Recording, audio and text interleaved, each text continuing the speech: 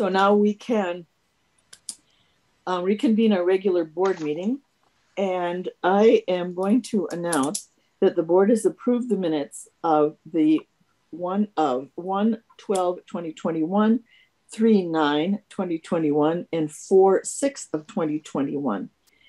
In addition, we are we voted to release all of the, the executive session minutes. So I get my next page here. Of 1 12 21, 3 9 21, and 40621. And the last action we took was to um, authorize the destruction of the existing records of the executive session that are more than 18 months um, old, which include the recordings of the executive session of 12 10 19. All right. Everybody feel I got them all? Yes. Okay. I have a que- I have a question, Nancy, just because it Yes, of what you said differed slightly from the annotated. Um, the annotated only has the January 12th, 2021 and the March 9th, 2021 for the release of the Right, and- minutes. Yes. You and we added- voted to release all three of them. Yes. Awesome. They- Okay, they added Thanks for that, Katie. clarifying that. Yeah, we did add that on. Yep. All right. So now, if someone would be willing, we need an, a, a motion to accept the agenda as presented. I move to accept the agenda as presented. Second. All right. Roll call vote. Meredith, you want to start? Aye. Roger? Aye. Cedric? Aye. I here as well. All right, so we have accepted the agenda as presented. Our next item is a public hearing. Um, so I am now going to open a public hearing to receive public comments on the fiscal year 21-22 combined budget and appropriation ordinance. Is there any member of the public who would like to make a statement during the public hearing regarding the fiscal year 2021 22 combined budget and appropriation ordinance. Nancy, there's no one reporting here at Kerr facility. Okay. And I don't think there's anybody else either then, right? So you don't have any, there's no one who's joined the meeting to. Okay, very good. Well, I, since there have been no comments made, I will declare the hearing closed and we will move on to general public comment, which there probably isn't any of either. None reporting at Kerr. Okay. And nobody online. All right, so I believe we are back to Elsie, who's going to introduce our newest intern. Actually, we we have Ashley here tonight. We have and, uh, Ashley. Oh, okay. Yep. So Ashley's here, and uh, she's going to introduce our intern. And uh, Ashley is our outreach and wellness coordinator, and also the uh, the uh, king of our Urbana and getting it out in our communities. So um, she's been doing a great job. But I'll let her introduce the intern. Thanks, Corky. Yep. Hi, everybody. Um, as Corky said, I am the Outreach and Wellness Coordinator here at the district. And I just wanted to take a moment to thank you all for having me tonight to introduce our new Outreach and Wellness intern, Tyler Jancic. Um, so Tyler joined the district as our Urbana unit supervisor this spring. And we look forward to him playing even more of a role on the UPD team this summer as the intern. Um, but I'll give Tyler a minute to tell you a little bit more about himself. Thank you. Yeah, thank you, Ashley. Um, hi, everybody. My name is Tyler Jancic. Um, I'm currently a senior at the U of I, majoring in community health and neuroscience. Um, I'm also from the upper suburbs of Chicago, a little town called Wilmette. Um, so, I've of that. so um, I, I truly fell in love with um, park districts ever since I was at the age of 15, where I received my first job as a junior counselor at the Wilmette Park District. Um, ever since I always loved connecting with uh, different patrons and just trying to improve their daily quality of life through just general recreational activities. Um, and through working with Ashley and the entire outreach and wellness departments, I've already learned so much, and I'm truly looking forward to learning more um, at the Urbana Park District. Thanks. And I'd like to add in that Tyler is doing a fantastic job. He's um, just a ball of energy, huge smile every time somebody talks to him, and uh, really appreciate him being here at the Urbana Park District. Well, we'll we'll welcome you aboard, and I don't think we need to tell you that you're working with an absolutely fabulous team. So it's going. I think as far as internship goes, you've kind of got the best of the best here because this is a, this is a this is a good park district, and the people who work here are better than great. So I hope you enjoy it as as as much as I expect you will. Okay, UPDAC appointments. Thank you. Okay, um, I can speak on that a little bit. Um, the the first thing is we did get two uh, more applications uh, for new UPDAC members, which I forwarded out to um, all of the board. Uh, so, um, you know, I've, I've, spoken with both of them. They're both very excited. Um, and, uh, you know, obviously, um, we, we were hoping to get a few more people. So, um, you know, they're up for three-year terms. Um, happy to answer any questions about about those two candidates. We also have an item. Um, we have three uh, candidates um, to appoint to vacancies on the committee, which we had discussed um, in UPDAC planning, and I think at the prior board meeting as well. Um, you know, a- approaching and asking uh, current UPDAC members whose terms are expiring if they'd be willing to stay on for one more year, for a shortened one-year term to fill those vacancies, so that we have a minimum of 15 members uh, as specified in our bylaws. So um, all three, uh, we have uh, Howie Shine, Sarah Roper, and Jean Haley to extend their, their terms. Um, and all three were super excited about it. They really enjoyed being on UPDAC. And I think um, all three have, have made really valuable contributions to the committee. I, I, appreciate that that solution, Kelsey. One of the things, though, that I I noticed, and and I I wondered um, how difficult is it to get um, UPDAC representatives north of Main Street? Because on that map, there's no. Yeah, no, I, I know. It's definitely on uh, my mind and, and I think on UPDAC's mind as well. Um, and that's, we're, we're going to be aggressively recruiting uh, okay. north of maine Um, we, we started doing a little bit of that this term, but I think um, we're going to try to, to gear up for something more sustained. Um, so we have more sustained uh, presence in those areas. But but yeah, that's it is it is true. It's, we're woefully lacking um, with representation from from those communities. So we're going to do our best to fix that moving forward. It's it's been a hard. I think. I mean, what I was saying, it's been a hard year is just kind of silly. Everybody knows that. Yeah. Um, and I think that that's part of it. And I know that Lashonda worked that the King Park neighborhood pretty hard. So it wasn't, I would say it wasn't for lack of trying. I think people are just working real hard to get their feet back on the ground. And I, I think that if we persist, we will we will be able to get a, a wider um, dispersal rate of folks on on our uh, on our committee because we certainly need that.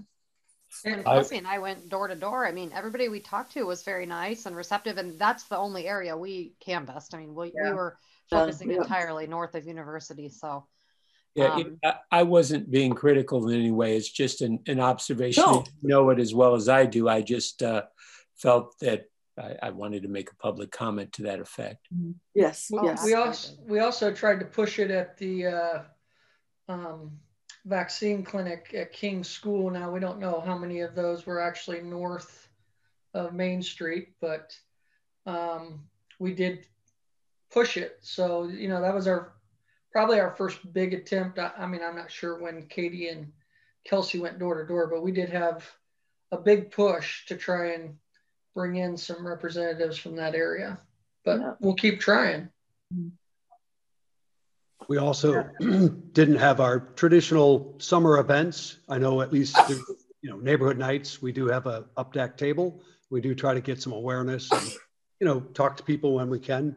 So hopefully we can improve that situation too. We'll just have to get different thinking hats on for different different strategies. All right, so we need a couple of motions. Anybody willing to step up?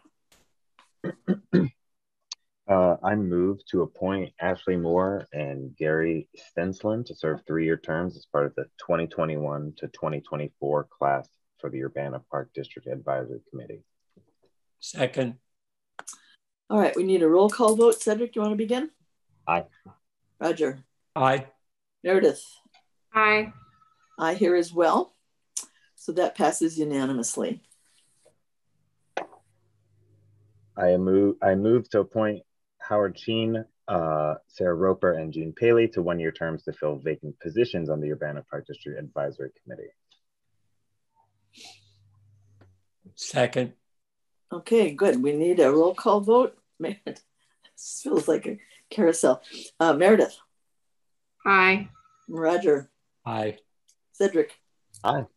I vote aye as well. So that is a um, passes unanimously. Um, UPDAC report. Uh, Laura included an UPDAC report in our in our minutes. Does anybody have any questions? Any comments? All right. Then our next action is um, our consent agenda. Um, on our consent agenda, our approval of the minutes of the June 1st, 2021 study session, approval of the minutes of the June 8th, 2021 annual and regular board meeting, monthly reports, um, action to accept the philanthropy report and gifts listed with gratitude, and approval of the monthly paid accounts payable. Now, anybody who want, does anyone want to take anything off? It's the prerogative of any of the board members to remove something from the agenda to uh, discuss during older new business. Kate, doesn't sound like it, so we need a motion. I move. Go ahead. Go ahead, Rod. Okay. I move to approve all the action items on the consent agenda and accept all the information items listed on the consent agenda in an omnibus manner. Second. All right, Cedric, Aye. Roger, Aye. Meredith, Aye. I vote aye as well. So that passes unanimously. All right, Katie, I think you are up next. All right, can y'all hear me okay? Yes. All right, I've been doing audits. Uh, it- today was the first day of audit field work at the cottage. So the three auditors showed up first thing in the morning and got settled down in the um, conference table at the in the cottage, and so I've been going strong. Everything's going well so far. So so far so good, and we're off to a good start. Is the first day the hardest? No, I, I mean none of them are any harder. It it always goes smoothly. So it's Yeah, I it's know just, you you know the build up of all of it, and um, it's yeah, a little bit of tension. yeah, but it's Yeah. good. It's all good stuff. So, um, also I wanted to let the board know that I'm going to be gone next month. Um, I will not be at the regular board meeting.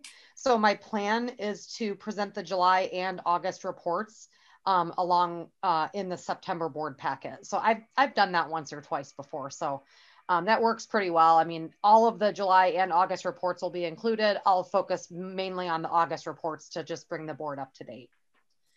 Um, so now, for now though, I'm going to present to you the um, reports for the month of June 2021 for the Urbana Park District. So the first report that I will be presenting is called the Revenue and Expenditure Report. This report shows the receipts and expenditures for the prior 12 month period, the budget for the current period, and the preliminary unaudited results for the two months ending June 30th, 2021. Uh, the first page of this report is what we call Sum One, and it's all of our funds except for the Capital Improvements Fund. So it's a better look at just our operating budget. Revenues for this period were $4,521,000, which is an increase of about 2.6 million since May. 4 million um, of our revenues are from property taxes and we've received 50% of our property tax distributions for the current year. Uh, you can also see with camps and programs up and running and with the pools open that we've already earned more in two months than we earned for the entire year last year. So that's uh, pretty impressive what the first couple of months of our fiscal year can do. Uh, and then I also did a comparison too to 2019 at this point in time. Uh, so as of June 30th, 2019, which would have been our last normal year, we had 338,000 in fees here.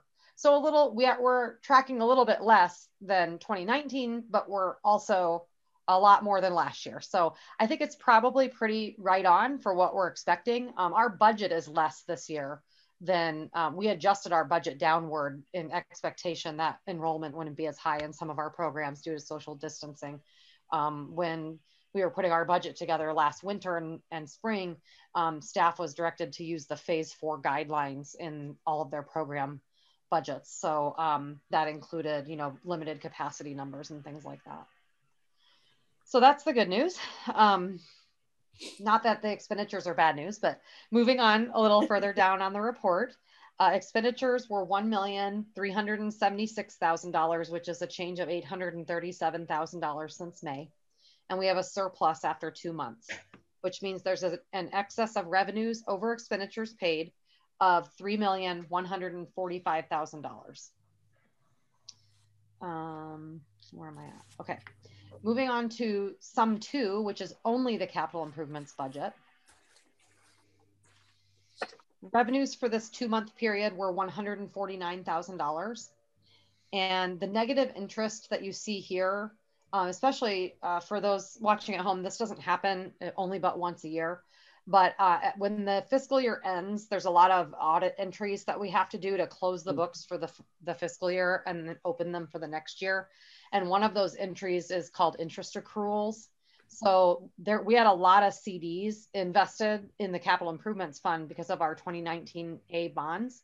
Um, we have all of the, uh, probably about half of the issue out in like a laddered CD structure. So any interest earned on those CDs still has to be recognized in the fiscal year that it was earned, but we won't actually get the money from that interest until the CDs mature.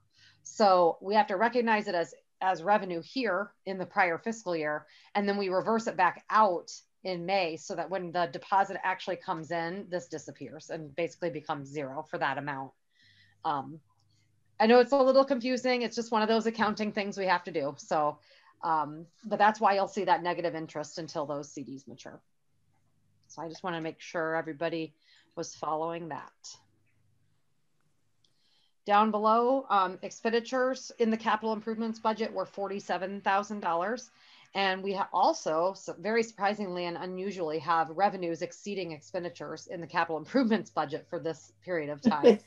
um, with uh, the ending net revenue of $101,000 for the capital improvements budget, which, um, you know, we're budgeting to have a decrease in fund balance of 6 million, 6.8 million. So uh, it'll get there. And not that we're going to get that far, but we have, you know, all of the bond money uh, allocated for spending if needed. So, um,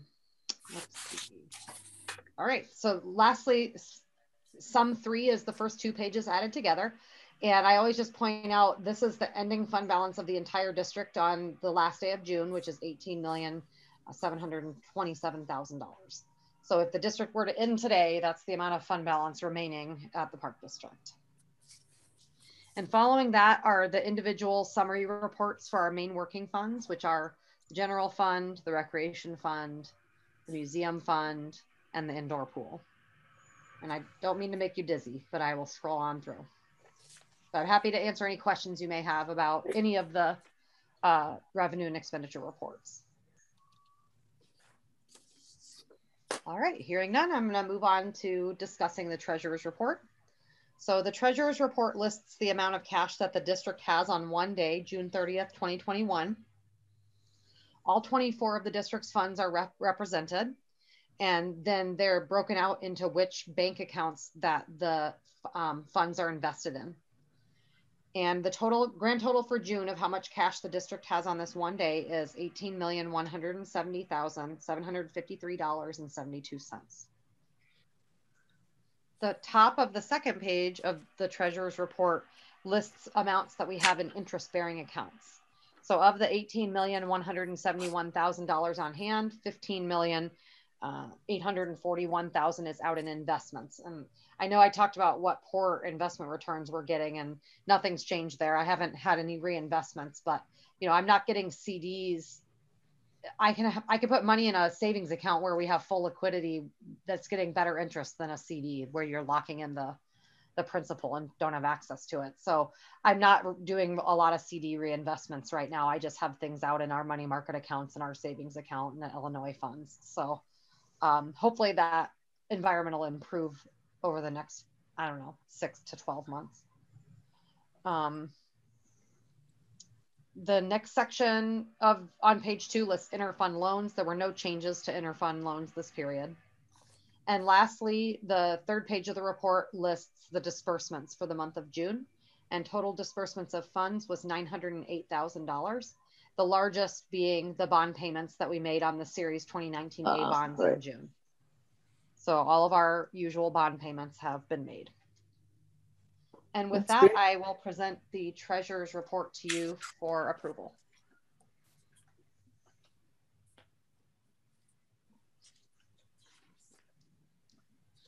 Would somebody like to make a motion? I move to accept the treasurer's report for audit. Second. All right, we need again a roll call vote. Meredith, join again, please. Aye. Roger. Aye. Cedric. Aye. aye. I vote aye as well. So the um, motion passes unanimously. And now capital budget. Derek and Andy. Real quickly, I'm going to start and just go through the areas that there's been activity this period, and then I'll turn it over to Andy and Derek for any other updates. So on the Series 2019A bonds, there was activity in the rehab project, as well as the one-way way road system. And again, you're going to see a negative number here, and this is a different type of um, accrual. It's actually an accounts payable. And so this is for any um, expenses that were incurred in the prior fiscal year, but have not yet been paid. So we still have to recognize that those expenses in, were incurred, but we won't actually pay them until the future fiscal year. So whenever that bill gets paid, this will clear out to zero. So uh, it's just, it's kind of the reverse of the revenue side with the interest earnings, but this is an expense side. Um, and again, it's just to close out our fiscal year properly for audit. Um, let's see. Okay, moving on to the uh, 2021 capital budget. There was actually, um, I realized when I was preparing my script that I made a mistake, and as as all people do, um, there was actually $3,850 earned in this um, in this total that should have gone up into this tributes and donations line. So this actually really still should just be this 14 uh, $711 and then the 3850 should be in tributes and donations. And I've already corrected it, so you won't see that again. Um, but this is the total for the entire uh, capital budget for revenue is correct. And then the only expenditures that occurred was for stump, stump grinding um, that happened in this hazard tree line here. And in the 2020 budget, the, there were expenditures on construction crew projects the, the second installment was paid um, for the purchase of molecular reflection was made to the artist. Uh, one of two trucks that was awarded in February was purchased. And in the contingency section at the bottom, expenditures were incurred on the fence cap for Blair Park um, and on tile repairs at Crystal Lake Pool. In the 2019 capital budget, Expenditures occurred in the prior fiscal year on the saline project here. In the 2018 budget, expenditures occurred in the prior year on Urbana Park District's share of capital improvements at the Urbana Indoor Aquatic Center. And finally, in the 2017 capital budget, expenditures occurred on Crystal Lake Park Rehab Project. And now Andy and Derek have some updates for you on capital projects. Okay, I can uh, start with uh, a few quick updates on uh, first being the Phillips Roofing Project. Um, our bid is uh, advertised uh, for, distribu- for distribution beginning uh, today. Um, this will replace that existing asphalt shingles, which is covered by our insurance from hail damage claim that occurred last summer. Uh, we included an alternate for standing seam uh, metal and some um, venting improvements, and those would need to be paid from UPD funds. Those weren't a part of that claim. Um, as far as schedule, um, our bid opening is scheduled for August 3rd, and uh, we're anticipating a board recommendation um, that month for uh, construction uh, this fall. Andy, how uh, much difference would you anticipate between uh, asphalt and um, seamed metal? I think the cost estimate had sixty thousand dollars more, sixty or seventy thousand dollars more. That's just our architectural uh, estimate, but sure, sure.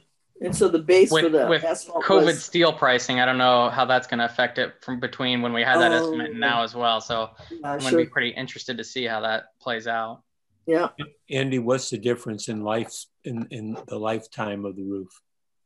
I think asphalt shingles is usually around 20 to 30 years, and um, standing seam metal, I would assume, is probably almost double that. Okay. It seems like you know the district's kind of been moving towards the the standing seam metal um, where we can, but obviously budget's going to play a big part in this uh, decision, and our insurance claim as well.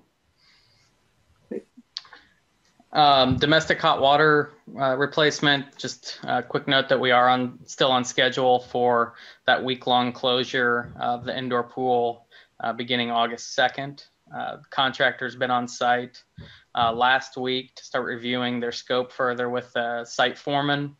Uh, they're planning on coming back uh, to get some additional measurements soon.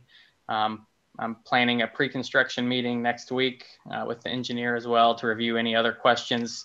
Um, I just want to make sure that everything's kind of ironed out the best we can uh, since we have such a tight window uh, in that closure, not to get anything uh, extended beyond uh, that week.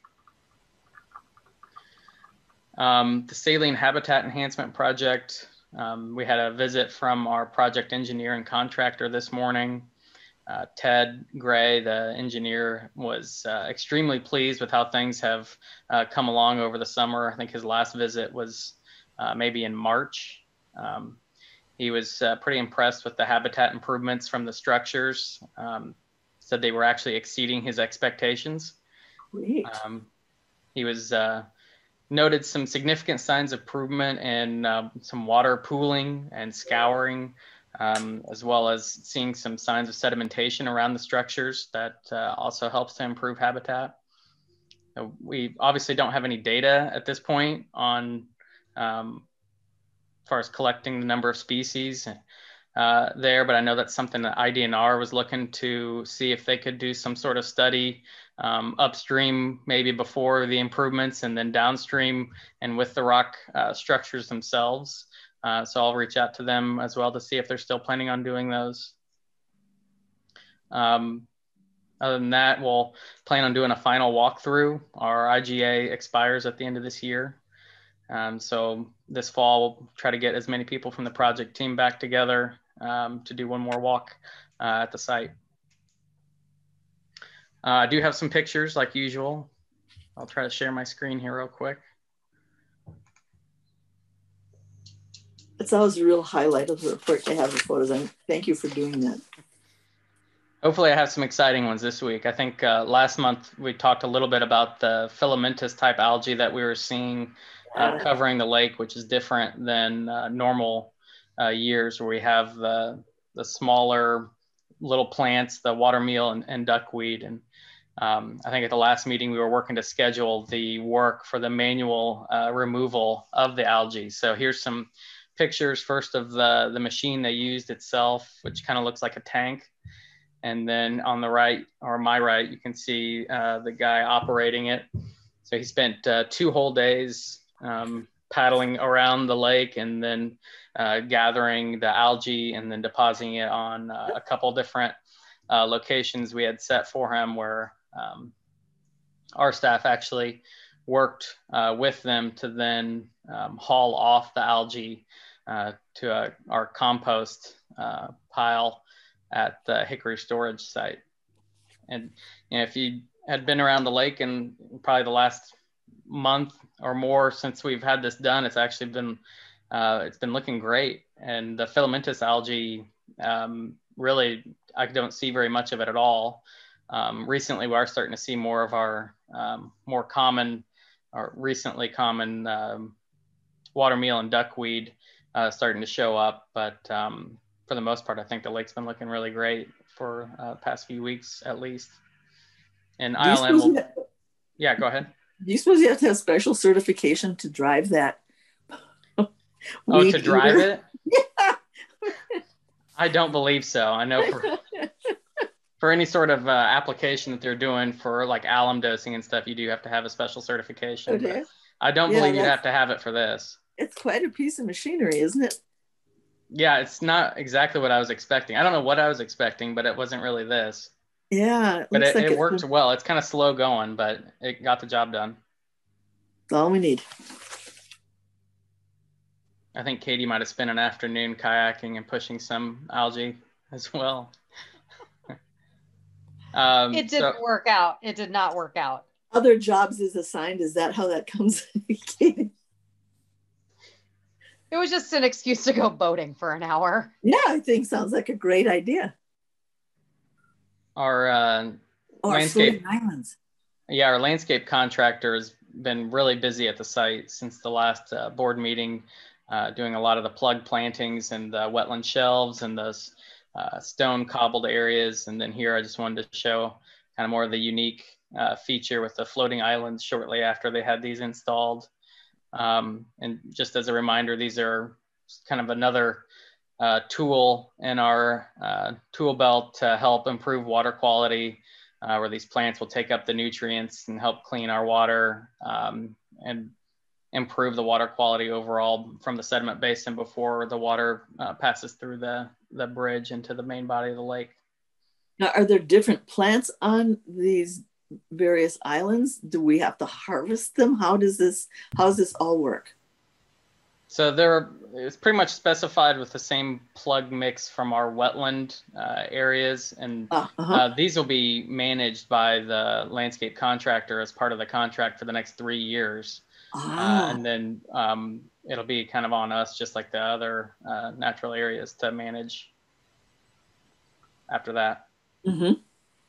Nancy, we, we previously met with a uh, researcher at the university who's done a lot of work with nutrient management in agricultural water systems, and mm-hmm. he was uh, a, a, big proponent of these as well. He said that once the plant's established, they had the, you know these extensive root mats that enter the water below and help to absorb all sorts of nutrients. So we're pretty excited to see how they work.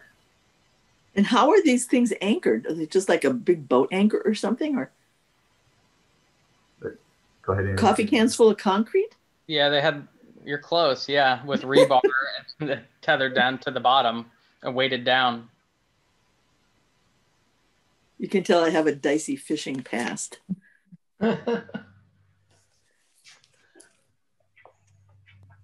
uh, think so, they look fabulous out there. I'm really glad to see them. Yeah, I think once the plant's established, they're, they're really going to look nice. Oh, yeah. It's definitely a unique feature we've got going. Mm-hmm. Uh, so in Blair, uh, just a couple images of some site work for the playground uh, zone.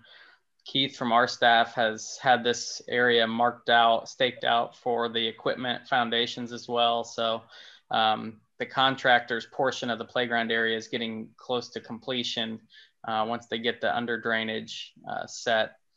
Uh, Keith from our staff is doing the installation of the playground and the challenge course.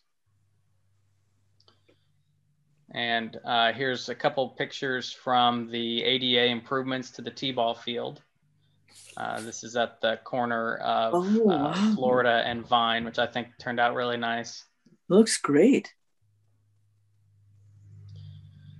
and then a couple uh, angles. So the contractor, you know, started on the uh, would be the east side of the park and has been working uh, clockwise. So this is now towards the southwest corner, um, Broadway in Florida. Uh, the corner here and where it starts to turn and head north, which is now, if you can see my cursor starting to move around the Little mm-hmm. League field, this is when they were getting their subgrade uh, compacted in preparation for um, my next pictures, which is the concrete um, work, which was then completed. This is looking, um, would be east down Florida uh, towards that T-ball field. And then here's that same corner that we had just saw uh, after they had their concrete work completed. I think I took this last week. And then finally, just another kind of amenity that has been uh, poured in the last week, which is the half court basketball. Um, so the contractors still pouring and working on that path work around the perimeter on the west side. Um, but they are going to start to make a move towards more of the interior features that uh, connection path that'll go um, between, you know, will connect this basketball court, uh, the playground, uh, the accessible horseshoe pits, and then move in between those two tennis court sections where we'll have the challenge course. And so they should be pulling that playground equipment soon uh, and then start the site work for that as well so that Keith uh, can get out there similarly and stake out where that equipment would be placed before they put their drain uh, tile in. So we're anticipating all that equipment for the playground and challenge course then to be delivered here in the next two weeks so that what we've uh, requested and asked the contractors to have all that site work uh, ready for Keith uh, where he could start to begin his installation in August. And that would give him uh, a few months where it's not in the dead of winter to get everything uh, installed. I don't know about other board members, but I've had more people getting a hold of me wanting to know what is going on at Blair Park. I think it's it's more than I've ever had in any other project I think that we've done. It's really quite interesting. Nancy, mostly enthusiasm or concern or? Oh, no, no, they were, it was most, mostly curious. Mm-hmm. Yeah, they just wanted to know what was happening. Nobody was worried and nobody was unhappy. But yeah, a lot of interest. So, I mean, I think just because folks are out in their cars going by that maybe more often than they would our more peripheral parks. Yeah, it's pretty uh, high I've, visibility. I've, I've heard so many positive comments, particularly from my neighbors, because we're not that far and um, uh, some of them are. Uh, well, one one woman has a, a, a four year old and a and a uh, almost a year and a half old, and she takes them. She has a little trailer on her bike. She takes them regularly up there to watch the construction from a distance. Oh, I bet they love it. Yeah, they really do. Just wanted to mention there was a terrific News Gazette article. I hope folks are seeing that in the paper too. Fabulous spread on the work there. A lot of photos.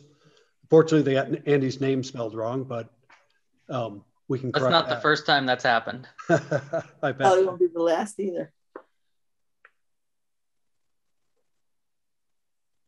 I've got two two small updates that are capital related. One is that I previously reported to you all that the sanitary district is cooperating with MTD on a project to put solar out uh, on the back half of our Hickory Street site that we lease from the sanitary district. Yay! Yeah, and that, that solar will fund uh, fuel rather um, uh, a hydrogen uh, compressed gas uh, system that will fuel uh, several MTD buses. Um, they're actually going to have a, a piped connection go beneath University Avenue over to the uh, main MTD build, building. So that's very exciting. And they started doing borings on that within the last week. Um, the other bit of news is, not isn't so good, but it, it's not entirely awful. Um, you know, we, we'd begun having some discussions with Corky staff about um, our intention of developing uh, a uh, master plan for our athletic ball fields. And uh, one of the areas that we were talking a lot about was lighting at ball fields and where we would need lighting in the future and where we wouldn't. Uh, as we look to develop Weaver Park, lighting will be uh, an important and sensitive topic. Um, and and uh, before we even began our study, you know, Corky and his staff reported that the, the lighting at Prairie Ball Field, the hard ball, would not be needed long term. Um, about two weeks ago, uh, we had uh, Remco go up with uh, uh a lift, a, a crane, uh, to replace some lights that were were uh, failing, and they came back with a, a somewhat cautionary report that a lot of the, the lights up there are in bad shape. the, the, the horizontal trusses that support the lights are, are beginning to loosen the hardware. And uh, I think at this point, we're, we're looking at an expedited removal uh, of, of, those of those lights. And we've already notified the, the school district they don't use them for uh, Urbana High School baseball. And there's there's a handful of programs I think that that, that, that use them at all. Is that correct, Corky? Yeah, it was mainly uh, college U of I rentals for like a club team. Oh, okay. That's not so bad then. We've also um, been watching the utility bills for those lights. Every time we flip the switch, the the, the demand charge because they use so much energy from uh, is just astonishing. And so, um, we uh, if we were going to keep to keep them, we'd want to put in LED, uh, something to be much more efficient, and uh, the orientation and placement would be entirely different than they are today. Uh, and so, for that reason, early thoughts about trying to retain some of the wiring have been sort of forgotten. Uh, we're just going to move forward with abandoning the, the, the wiring and uh, then seek out a demo contractor to remove them. So um, I, I, think there's, there's a good chance uh, by our next board meeting uh, they'll be removed. Uh, if, if the oh. pricing continues to stay above 25,000, because we got a preliminary quote from, from our electrician, uh, we would we would bid it and bring it back to you, also approve at that board meeting. But uh, I think there's a decent chance we'll be able to get done for, for less than that. That's all I've got. Oh, I guess I have to start paying attention here. Right. I think then, Tim? Yep. Thank you guys for doing that. That's it's always good to hear what's happening. Sorry, Tim, go ahead. Yep. Thank you. Um, starting out, just wanted to share some You Belong Here updates. The Matrix team uh, sent along some accomplishments that I just read them. There are three um, that relate to the strategic plan, and their uh, completion. Goal number three, objective B, expand staff involvement and number of locations. Urbana visits to provide on-site youth program registrations, utilizing Carl scholarship funds uh, to nine annually. So that's a nice achievement. Glad about that. The next one is um, strategic plan goal number four, objective A, increase program guide and free page distribution to community organizations and or neighborhoods by at least four. We've done that. So we're very pleased about that. The net last one is strategic plan, plan goal number four, objective B, research and implement ActiveNet Spanish and French customer user interface module. So they've completed that. We really appreciate that. That's the team that helps move those things along. Certainly the leadership team uh, consults and helps, but it's really a staff effort. So we're really pleased with that. The other You Belong Here thing I wanted to mention that's coming up, uh, the really cool Bridging the Art Divide. That's going to be the new artwork that's going to be at Crystal Lake on the bridge. I was fortunate to be with the, the other staff that was on the um, panel to select. There were just a ton of submissions, wide, wide variety of age. I'd consider that an age-friendly event. We had some very young kids all the way up to some lot older adults. Um, and it was very difficult to make the recommendations of the ones that would go forward to be displayed. So again, I think everyone present, and there was probably a dozen of us, could see that's got a lot of legs. Um, we had some UPDAC folks um, on that panel too, so it was really fun. And you know, just seeing the creative work out in the community, creating outlets for um, people interested in arts is really important. And there are very few canvases in the community where we can um, express that. So um, we're really excited about that. And I think there's a lot of growth potential in that. Moving along to my regular report, just wanted to start out with a few recognitions and thanks. Just want to thank the Ground and Arbor team for the just amazing landscapes we have at all of our main facilities. If you haven't been out and about, I'd recommend you take a tour. I strongly recommend we consider starting our own garden walk at the Park District where we would feature facility gardens, special gardens at Meadowbrook, and select natural areas. I bet we would have a lot of folks interested. Um, so that may be something we could even trial, you know, mm-hmm. ourselves. But uh, we know this is a horticulture community, and uh, I think we have a lot of potential to grow. on that. Also wanted to thank the aquatic staff just for the great job they're doing at the aquatic facilities. I forwarded on to the board a compliment from a patron that noted that noted a, a drill that was taking place and how professional it was done. Of course, we appreciate that and know what a good job they do. And we also know that that could change in a second. You know, the outcomes could be that that close. So we appreciate the hard work of the aquatics group. Also want to thank Katie and the administrative team for the audit process. You know, it's an ongoing year-long intense job. And then there's an intense couple of months of really pushing hard. Um, and thanks to Katie's oversight, um, she's not able to go to other meetings and she's very gracious about that once the work continue. And then we loop back to her and report. So she's definitely included. Um, but looking at all the awards we have received year after year, I think it's worth it and uh, reflects their good work. Also wanted to thank Jackie Willis. She was our Boneyard Arts Festival, Meadowbrook Park um, featured sculptor June 19th at the Meadowbrook Interpretive Center. Um, we had a wonderful Saturday uh, sculpture exhibit there. She was slated to do it last year and COVID canceled us out. So she graciously returned. I'd recommended to staff that we offer, start our, offering a stipend, just a small thanks um, to the artist most of the people are out of town and come a long way. And um, while they might have the off chance option of selling something, you know, it's just helping us out. I think they know us and they like what we do. And certainly they're, they're probably saying yes to the personal connections. So we appreciate Jackie's work and all the past sculptors that we've had and artists. Also want to lastly recognize uh, the Mark in the Park segments. If you're watching those, they're really wonderful the last interview with uh, Jacob Johnston was terrific on some of his work. I really appreciate the um, kind of spot on interviews that really give a focus on particular aspect of what the district's doing. And I, we hope people are tuning into that. A lot of great information and it's a lot of fun. And I think Mark does a really good job. Wanted to call out and recognize the effort for the 48 hours of peace that was going around the community. Um, we had a couple of events at our parks, and there's ongoing events throughout the summer. Um, so we just really hope that's a fruitful exercise. The reports I heard, there's a lot of attention and a lot of focus on that. So we're appreciative of that. Obviously, it's to uh, try to make an impact and reduce the uh, number of, of shootings and the gun violence in the community. So we'll continue to watch that and see how, how those reports over the rest of the summer go.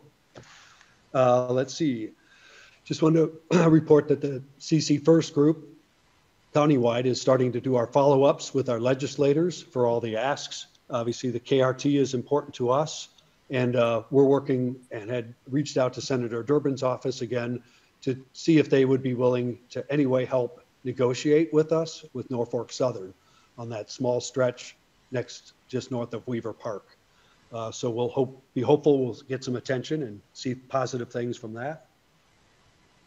Just want to mention that our KRT steering team meeting is in Urbana this Friday at Weaver Park on site. Um, the idea is to kind of get familiar with that site, visualize the uh, permanent trailhead facilities, check out the trail and uh, the Main Street connections, just to get familiar with how things will eventually come into Urbana. Also want to report that we're moving, trying to move ahead with the IGA, the inter, uh, intergovernmental uh, agreement between the Park District, the Forest Preserve, and Conservation District as a start. Our hope is that others would later sign on. Did meet with Mary Ellen Wuellner and Jamie Pasquale. He's the executive director at Vermilion County Conservation District. I think he's moving more to a favorable position on that. I think it's important because we really don't have any sort of you know document that ties us together. But more importantly, as we hopefully receive grants and funding, that may be a mechanism that you know helps us divide funds and share and, and work alike. So stay tuned on that. Also, want to report we have our second. Uh, I'm calling it the new new new uh, effort on the Friends Group for the KRT. That's going to be um, coming up uh, July 22nd, next Thursday at Kolb Park in St. Joe. So we're trying to move around the county to different sites to attract different people. Yeah. We had uh, about 35 people attend the first meeting, and it sounded like more were interested. Obviously, with summer, people coming and going, we may see ups and downs, but I think it's starting to gel now, and we've really needed that. Uh, so we're excited about that. staff continues, um, our staff steering committee continues to work on the DCO grant that will hopefully fund the rest of the build out of the KRT and specific facilities at Weaver Park. So we have a vested interest in that. Uh, just some updates on the health and wellness uh, process. Last Thursday, Alex uh, Fruin came to Urbana. He's with the CCS group. Had a wonderful working dinner. Covered a lot of ground. Uh, I guess mapped out our you know final stages of the public campaign. There's a lot of moving parts and overlapping from the um, you know silent phase, the quiet phase, to now. You know, I think in short, our steering committee is going to continue to reach out to anybody and everyone you know that we have a chance to. But probably some of the new targets are some of the businesses, and get new assignments, and we'll be working on that. Um, our work uh, is coming to a close. I believe August 13th is the end of our second extended con- uh, contract with CCS. I think our staff goal was to get our development manager in place, get them at least warmed up, and uh, get some other t- specific training set up for uh, Jeremy um, with CCS. But you know, at some point, we probably have to finish the campaign on our own. Um, and so I think we're working on the transition. You know, what are all the things we need to um, get Jeremy set up with? What does the steering committee need to do? Obviously, close any deals, follow up with any gift agreements, make sure we're you know getting all those uh, paperwork elements together. Um, so I think that's challenging for staff because you know we've had the benefit of working with them, and any anything we needed was a call or an email away. But again, we kind of need to move into the rest of the project using the good training and, and skills we had. At today's check-in meeting, you know, we talked a little more about that, and obviously, um, you know, we can outline things we, we still may need help with. Um, but I think that's our general plan is to move forward and, and take the rest of the campaign ourselves. And again, there's overlaps. You know, we'll probably be talking to people in the uh, private phase, you know, later this fall. And I imagine in the winter we'll be talking to more businesses. So, um, but we did sort of arrange a, what I think we would call an ideal schedule, and that would look like um, maybe by December of 2021, reaching our goal, being able to uh, draw a close to at least the major concerted effort of the campaign. If we could have a you know fall or late fall launch or some dedication event at the site, we think that would really be a way to bring all the people together, bring the neighborhood in, um, have a little celebration, and then look at bidding over the winter, and then perhaps a spring, uh, you know, construction start. So obviously, it's contingent on fundraising. Um, we're hoping that our own DCO grant comes through, and that would probably meet that timeline. So that's kind of the preferred plan. Obviously, if we don't hit those marks, the team's going to continue, and we'll stretch that out as short as we can. Meaning, we'd love to wrap things and be able to announce and, and get into construction. Um, so we're very excited, and again, we're all committed to the full program. So you know, cutting it short or you know, building something less is not one of our goals. It might be a fallback, you know, if we were not able to reach our goals, but we're all confident we will. So we're looking forward to that. Uh, let's see, moving on. Today we had a discussion with the planning group about the uh, what I'm calling OSLAD 2. There's been an announcement for another OSLAD um, grant. It is uh, the due date start July 15th through September 1st. Um, and so we're trying to figure out what a good request for that would be. I think original ideas were something with the outdoor elements at health and wellness, but we also followed up with an in-depth conversation about prairie play and how it's coming up. We're hoping there's another grant the next cycle that might tag that one. Um, and then Kara was um, very direct. Um, you know, she pointed out that we may not get another grant. We have a few outstanding grants, and depending on how the state staff looks at things, you know, is there an opportunity to spread things out further? Um, so we have been fortunate um, and we're in grants. But again, we like to think positive and that our compelling projects linked uh, to a great facility would score out and, and maybe bring us some additional funds. So we'll have to wait and see. And again, that isn't the final plan. That was just really the discussion today. So that, that could change with new information. We, moving on Prairie Play, we uh, had a uh, Zoom uh, meeting with uh, Michelle Kelly from Upland Design, kind of outlined some next steps for Prairie Play. It is coming up very quickly. Um, while we're excited and we know it's going to be an exciting thing for Urbana, I think the staff concern is, you know, we have several overlapping projects now that are pretty major. Crystal Lake, I would include Blair, although that's at least seems a little more finite. Um, that'll complete. You know, it's not a necessarily a um, you know five or ten year endeavor. Um, and then we have the health and wellness facility. Um, so how do we sort of maneuver another energetic project? We know the foundation can't be on constant fundraise mode, um, and so looking at who and how we could maybe raise some additional funds. I think we have at least tagged 200,000 as a target. Um, but the, again, these are preliminary budgets. We haven't done any work with the community um, yet, but I think that was sort of the latter part of our discussion. Maybe later in this year, we could see forming a panel to get some, you know, preliminary discussions, um, get a procedure or a, a, planning process outlined and, and a time schedule, and, uh, and then start moving forward on that project. I guess, uh, you know, some ideal um, opportunities would be getting a grant, going into construction. Um, you know, if we could start that work in 2023, that would probably be a reasonable uh, time frame there. So stay tuned. Again, we have a lot of things going. Um, we're going to keep UPDAC busy this year because they'll be front and center with all of our efforts. Also wanted to mention, you've probably read in the papers and been hearing about some of the uh, American Rescue Plan strategies and funds that are going to different groups. As you know, special districts were excluded from any direct funding, and I'm not really sure why, but I think what we're being encouraged to, is to go ask the others that have received funding. So Kelsey and I worked on uh, letters that went out last week to go to the city of Urbana, Champaign County, and the Urbana School District, which will all receive um, recovery funds we identified projects that we could need help with, um, and we debated on putting price tags, and we decided not to do that. We emphasized uh, interest in meeting and discussing what their process would be and, and kind of sharing those projects. We did select heavy infrastructure projects and priority projects like health and wellness. Um, so we'll see how those discussions go. Our understanding is the funding window is pretty pretty long. It could go out as long as five years. We may not get funded next month, Wow. although I would like it next month. Um, but we, we understand this is probably a longer game on that. So we'll see how that evolves. Certainly, if we had meetings and discussion, we might learn more of what their intent is. But we do know that many other community groups, not for profits, are sending in request letters for help.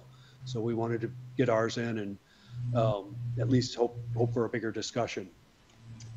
Uh, let's see two last items I wanted to uh, mention. You know, Derek and I and the operations staff have been talking about just just some kind of negative things going in the parks. We're seeing large groups still assemble, um, leaving messes behind. We had some neighbor complaints over the weekend. Um, so again, these are not rented um, parties or events, so it's really hard for us to you know know who and what and what's going on you know, while we wish people would call the police to get some immediate attention if it's, you know, disturbing the peace, um, but we want to start messaging that.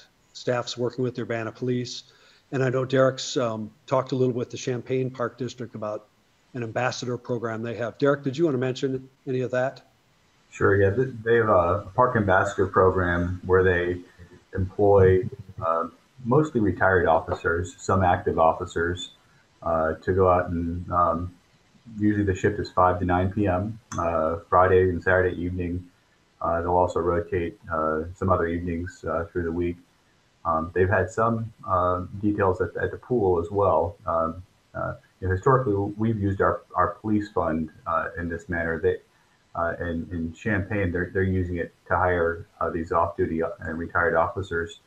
Um, and it appears it's being relatively effective. you know, we, we talked with one of the officers that helps to coordinate it. Uh, I went out uh, on the 4th of July and observed them working uh, uh Park. Um, and that probably wasn't a fair uh, assessment because there was a lot going on in Hessel Park that day and they couldn't be everywhere. Um, but, uh, you know, it, it's something we're, we're, we're looking into and evaluating more. Uh, it would be something that we could use our police fund for, and historically, we've only used a small portion of our police fund to hire officers at the at the pool and doing some additional park details. Um, so something we want to consider. Um, I will tell you that uh, I saw just in, in uh, the news today that a couple, and I need to verify this, but uh, a couple of the uh, portable toilets in Champaign Parks were, were lit on fire. And so I see Laura's nodding her head. It happened. Um, so, you know, you, you just can't be everywhere. Um, but, you know, the, the intention of the ambassador program is, is to have uh, some additional uh, eyes in the park when, I, when our staff can't be there. Uh, they're um, um, hopefully, you know, really tr- truly acting as ambassadors and going up and, and, and, helping people understand, you know, the rules and why the rules are there and making sure the park is safe for the use and enjoyment of everybody. And so that would be our intent if we if we bring this program forward. And uh, we'll, we're finding out more about it now. Thanks, are these scattered incidents in, in, in parks or are they concentrated in just a couple parks? I mean, for us? For us, it tends to be large gatherings in a, in a handful of parks. Uh, um, the, the, the Crystal Lake Park has always been a, a, popular destination for large groups and it continues to be so. Uh, AMBUCS Park is, is, is, is, is, is being enjoyed by a lot of folks. Uh. And it started last year with, with COVID. You know, it was um, safer to, to have gatherings of, of, family birthday parties, these large groups outside, and, and AMBUCS Park became a, a, popular destination. It's continued through today, and so um, you know, uh, I would say that a lot of times uh, the, the, groups uh, do a great job of cleaning up after themselves, uh, but there are a handful of groups that continue on after dark when they really shouldn't be there. The parks close after dark, and sometimes I think that there's um, you know some some some level of intoxication taking place that that uh, perhaps they can do a good job of cleaning up afterwards. Okay. Also, we're we're not the only groups. There, you know, Derek mentioned Champaign, but over the summer we've talked to Decatur Park District, Springfield Park District, Savoy, Champaign County Forest Preserve, um, and Vermilion County also conservation district. So it's probably a result of COVID. I'd like to think we really want to know why, because we think if we knew why, we could come up with some alternatives. But we're going to continue to track it. I think this ambassador program might be a good way forward, um, and we'll see how things progress. Lastly, I wanted to invite Corky to do an update on the outdoor pool and any news yet on that. Yeah, I was talking a little bit in the beginning, but I, I've got a, you know, based on our numbers this year, we're down a, a little bit from 2019 right now, but um, that's to be expected.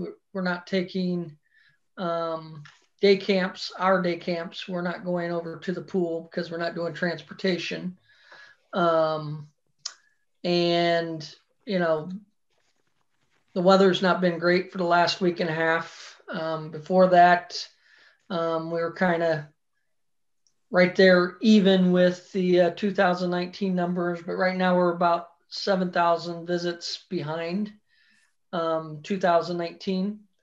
Um, but again, that could change between now and next month, um, just based on when the bad weather comes and those kinds of things. So I think we, overall, we've been happy with the attendance um, on those good pool days. Um, we're still getting some camps from, you know, other facilities, other districts, other daycares.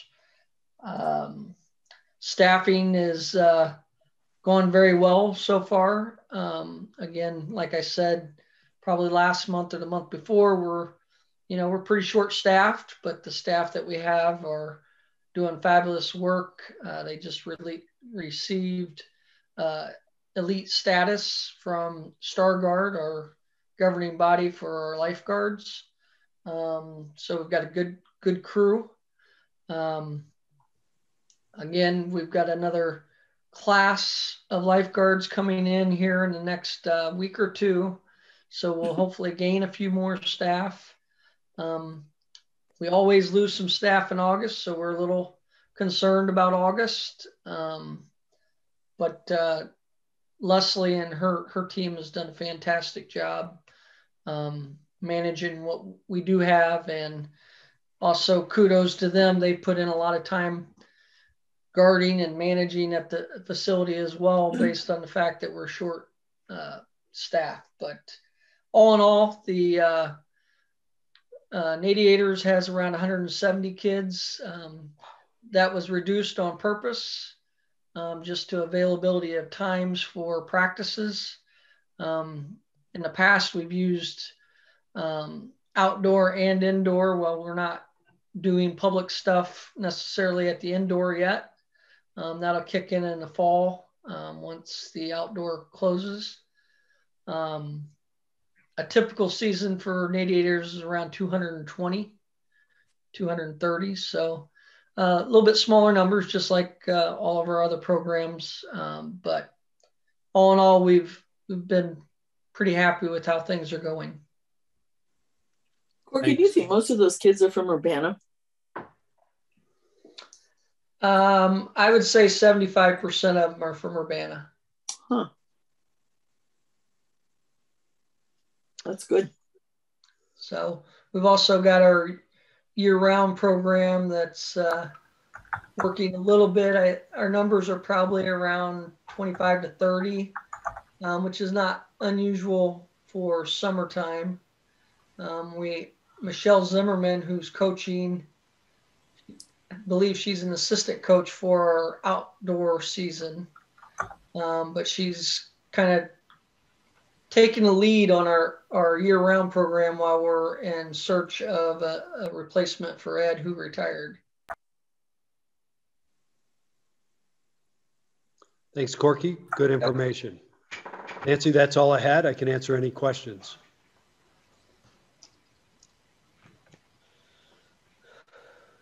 All right, well, I don't hear any snores from France, so I think the president is probably okay. Last I texted and emailed with them, they're fine and having a nice time.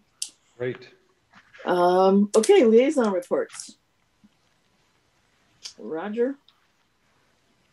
Um, we, the finance study group, uh, has not met since, uh, since the last uh, board meeting. All right. Policy study.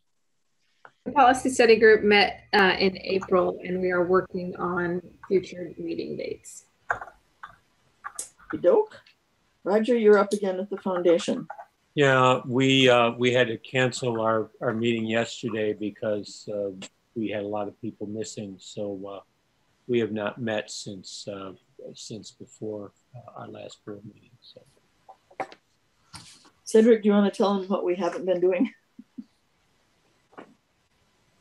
About with the uh, planning and the UPDAC Yeah, um, I guess that we last met on June 8th to discuss bylaws and topics for the first half of 2022 and recruitment and appointments. Um, and then, of course, we went through those recruitments and appointments.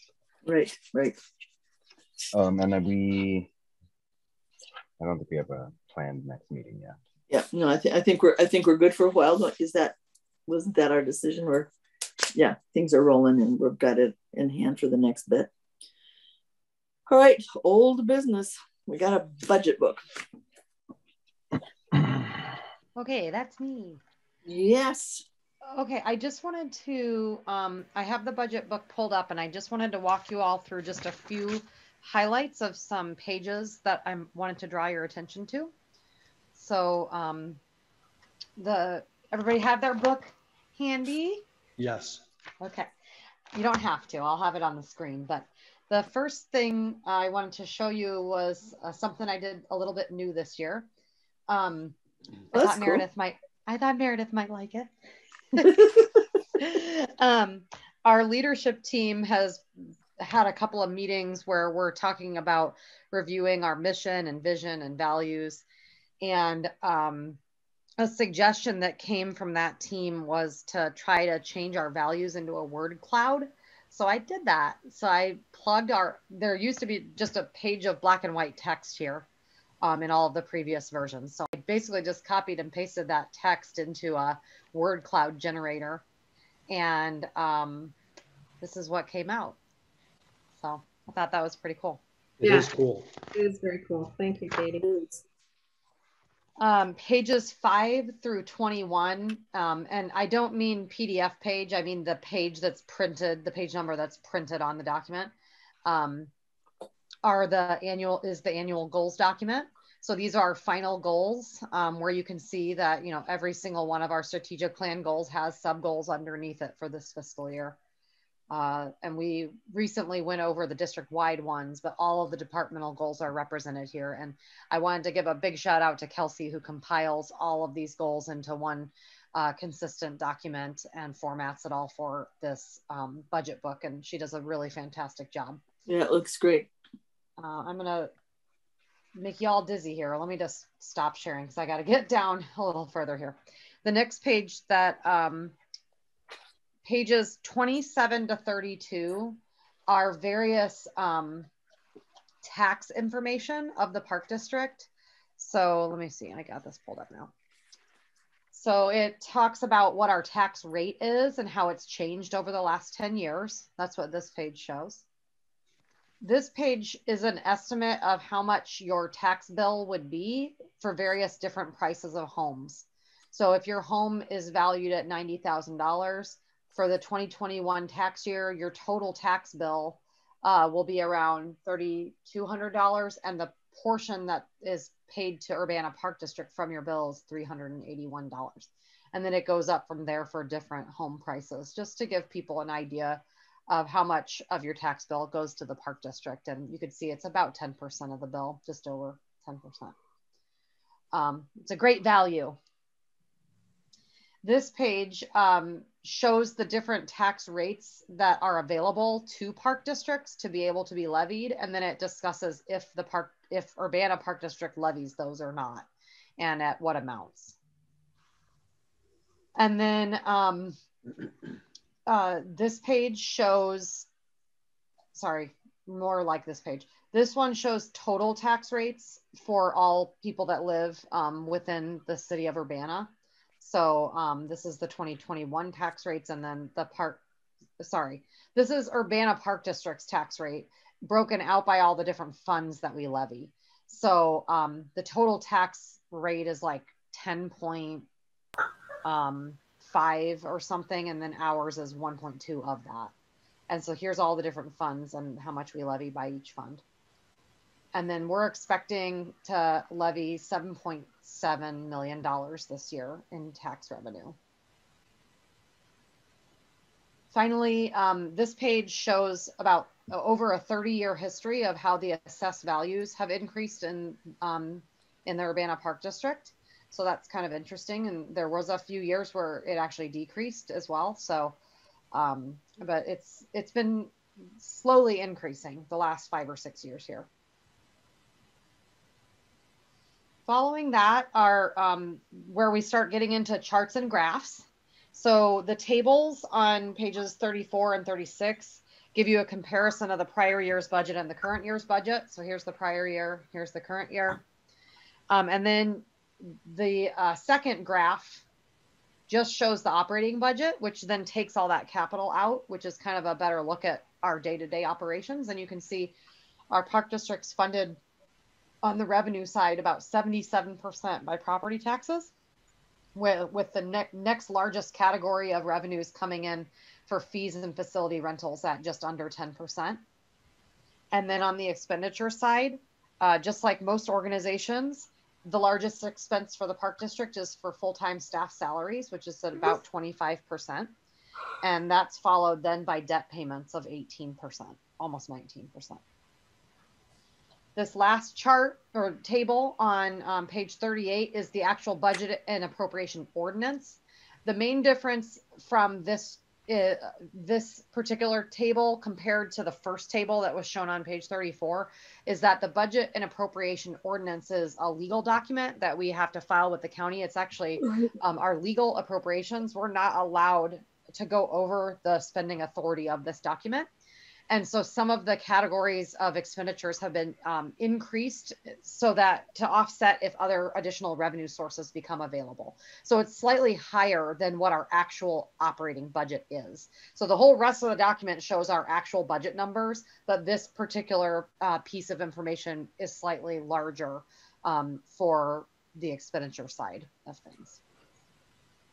And that allows the park district to have the appropriate the appropriated authority to spend if more revenue is received without having to go back and do supplemental appropriations and things like that.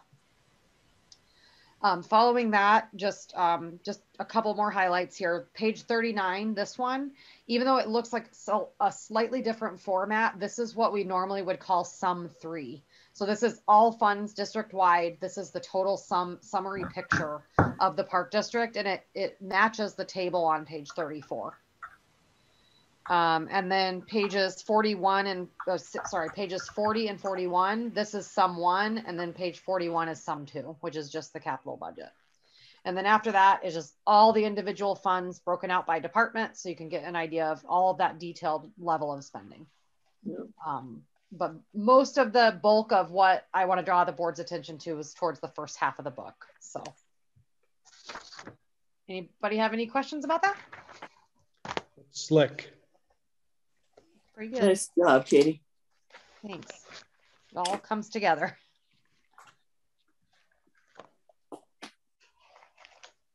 Um, okay, so I guess next is action on ordinance 2021 06 combined budget and appropriation ordinance.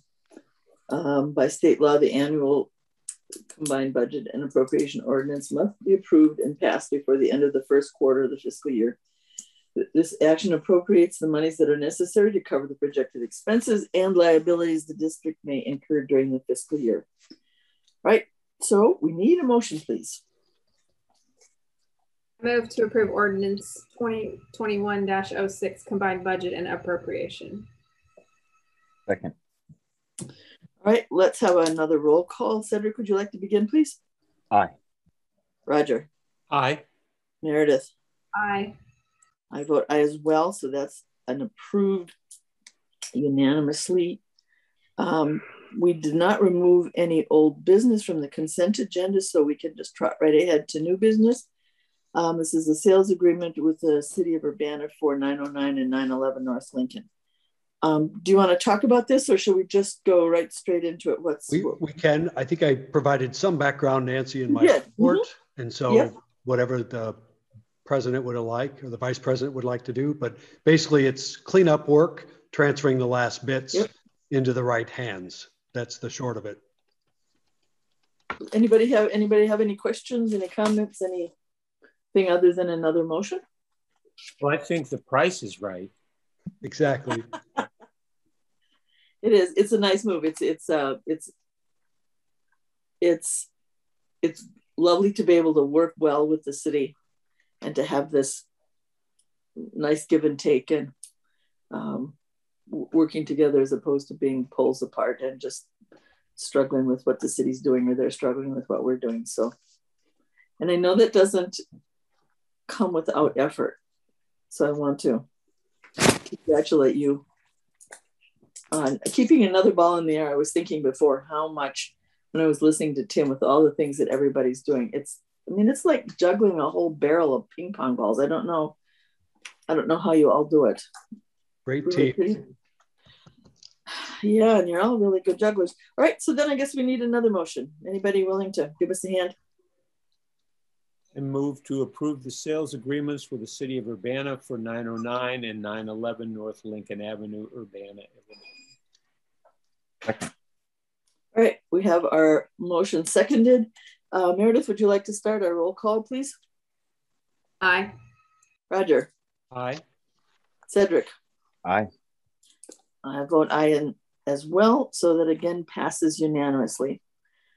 All right, our next item under new business is the um, action to award the UPDAC Outdoor Learning Pavilion Design.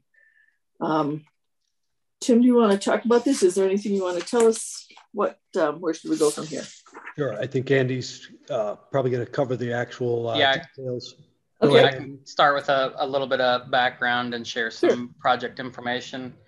Uh, this is for a museum uh, grant, which was a, a planning process. Uh, we started um, for an application in early 2020 with uh, Ratio Architects.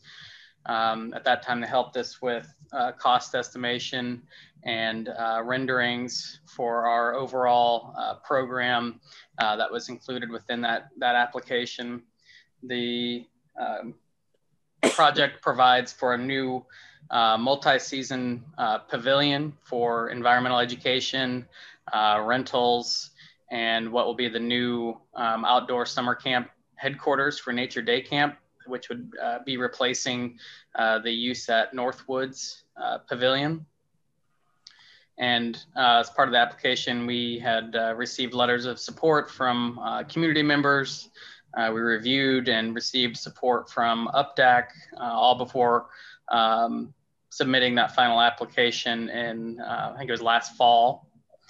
And we were noticed, provided a notice of award later that year um, which was for an $808,000 uh, project with $750,000 coming from museum uh, grant funds. So tonight we have the proposal from Ratio uh, for design services that would take us through construction, uh, and that's in the amount of $96,000. And we are um, also recommending to include a 10% contingency uh, which would be $9,600. Um, as far as schedule, um, pending the board uh, action tonight, we'll look to uh, continue into schematic design phase this fall. Our plan is to then bid it uh, this winter, uh, potentially have it under construction uh, spring next year in 2022, um, potentially being ready um, for some summer camp season next year. I do have some pictures to share as well. These are some renderings I think I've shared with uh, the board and UPDAC uh, previously. Um, but for a reminder and uh, to show anyone watching from home just what this project entails. Um, let's see.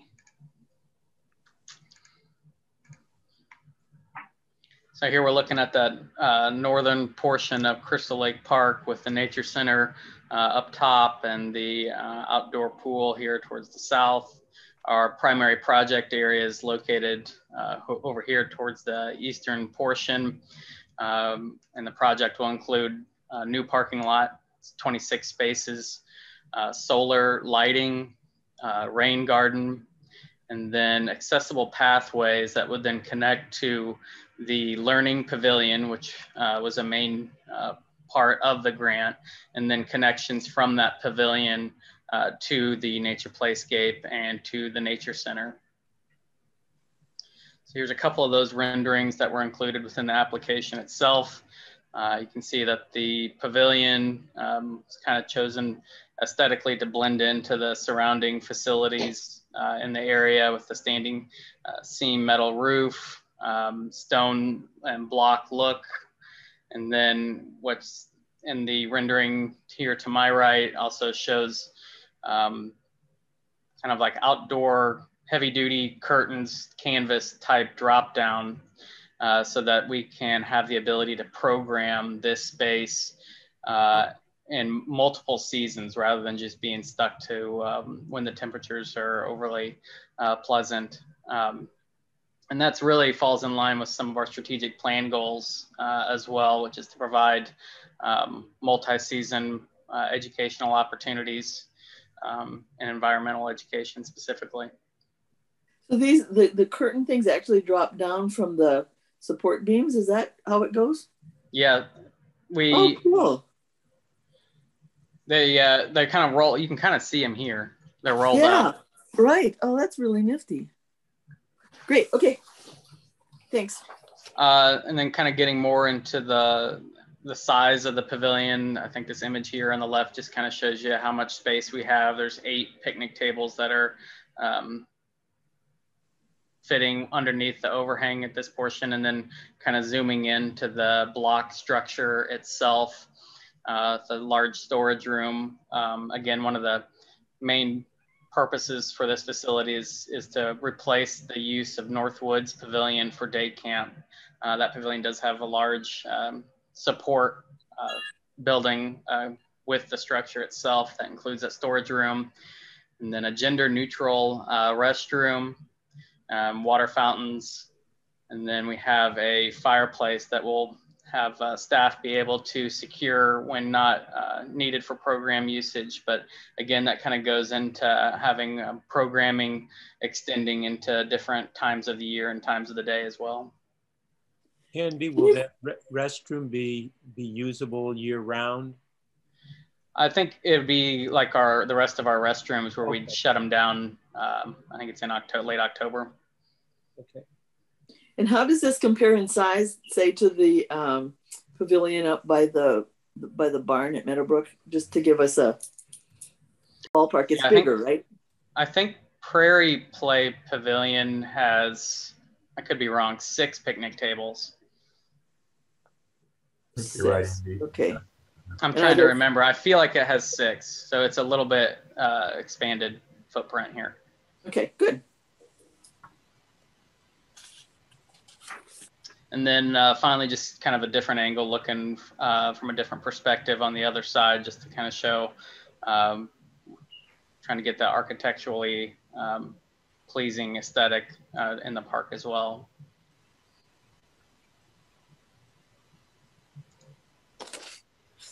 So I'm happy to answer, any other questions if you have any. I'll just mention that um, Tim and I uh, had a conversation with one of the immediate neighbors uh, to this area in Crystal Lake Park who um, had some concern about what was you know, proposed. Uh, you know, we, we, did have a previous open house where we had some good attendance from neighbors. And um, one of the things that we talked with that neighbor about was making sure that there's an opportunity for public input, you know, as this process moves forward. And we've talked with Ratio about that, and we're even envisioning maybe some um, smaller stakeholder meetings for the immediate neighbors that live in the vicinity of the facility.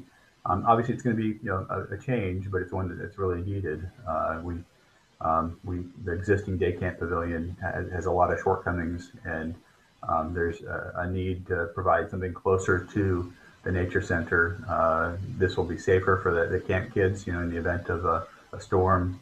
Um, and this will also address some of the parking issues that we have and drop off issues with, with day camp as it, as it exists today. So um, we're, we continue to have those conversations with the neighbor and we're, we're committed to, to working on an outcome that uh, serves all of Urbana, but also recognizes we have some, some, some neighbors that, that we want to work with as well. What were their, their, their main concerns? I, I think it's just change. Mm -hmm. uh, mm-hmm. you know, they, they really like the, the very quiet, kind of serene, uh, area uh, uh, adjacent to the nature center. Um, they, they had some concerns when we built the pool, and we worked with them on, on those concerns at the time. So it's uh, you know everybody has sort of a different perspective on on, on the best use of. Oh, sorry, my Siri woke up. Um, on, on, you know a, a, best use that, that that area, and we need to balance you know all the different needs for for for Urbana along with our neighbors. I'm optimistic we can do it. Yes, I agree. It's probably another comment too, you know, just a difference between a park like say maybe Meadowbrook that doesn't have a lot of neighborhood right around it compared to one that does. And long term, you know, over a hundred years, people remember when, you know, the park was a lot quieter and, you know, it was more of a daytime option. We're really kind of changing our park district overall to meet the needs of our community. And so with that comes change. And as Derek outlined, you know, that change, depending on how close you live to it, probably looks different than, you know, where I live. Um, and so we're just trying to give people an opportunity, you know, to be heard and listen. If there's anything we can do to, you know, incorporate um, things that would hopefully make it better, we would do what we could. But they would also have to understand that, you know, there are probably are changing needs in an urban park district. Crystal Lake is probably going to be at one of those places, you know, that would undergo a lot of change to meet today's park district needs. So we hope we can strike a balance and, you know, keep keep the wheels on the track, but try to do what we can do to soften or um, deal with any of those concerns. I think listening is probably the biggest thing, and you guys do that really well already. So. All right, one last motion.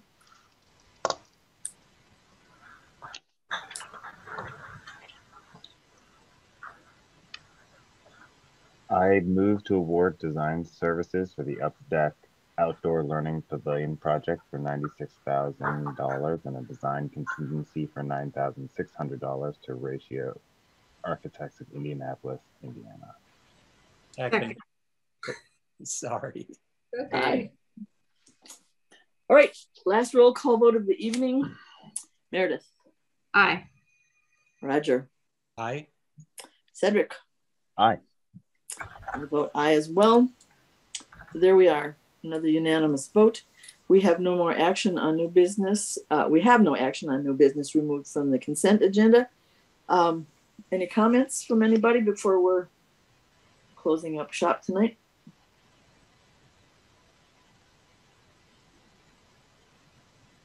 Going, going, gone. All right. Well, during the meeting, we'll see everybody in the beginning of August for a study session.